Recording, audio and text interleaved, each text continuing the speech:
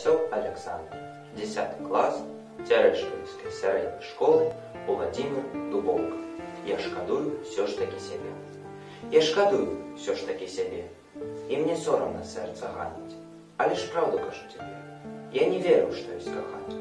Чуў заўсёды, што гэта жарт, ад такіх ці крыху мудрэйшых. А калі забылаю ў душы пажар, трэба песня гасіць або верш. І спяваў браціж мой пра вятры і пра ўсе сіняжатныя кветкі, аж пакуль у жыццёвым веры не спаткаў сінявокай суседкі.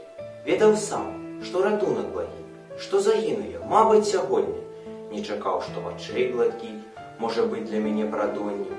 Не чакаў, што кужэльна каса абвівае залатым павуціннем, а цяперака, што б не казаў, але песні складаю дзяўчыне. Бо прыгожай такой, як яна, яшчэ ў свеце не бачылі, мусіць, калі ў свеце яна не адна, дык, напэўна, адна ў Беларусі. Ты скажы, што на свеце адна. Хіба цуглі зрабіў, то для сэрца.